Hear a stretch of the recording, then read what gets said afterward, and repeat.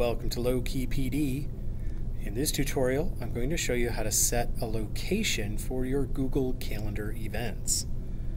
So when this pop-up is open and you're editing your event, right here, or somewhere, there should be uh, an option to say Add Location. So if I click on that, uh, I can start typing an address, 123 Fake Street in Oak Lawn, Illinois.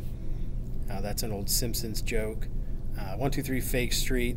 Uh, all right, so that's where the meeting is going to take place. Uh, and that lets everybody in on the meeting uh, know that this is not happening at our place of business. Maybe it's a lunch meeting and um, we're going to meet over lunch, but it's off campus or not at the normal working location.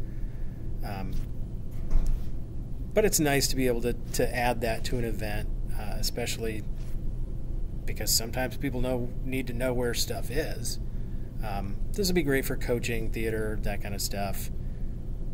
Uh, just a, a, really easy way uh, to add informative information about your event uh, to those who are viewing it.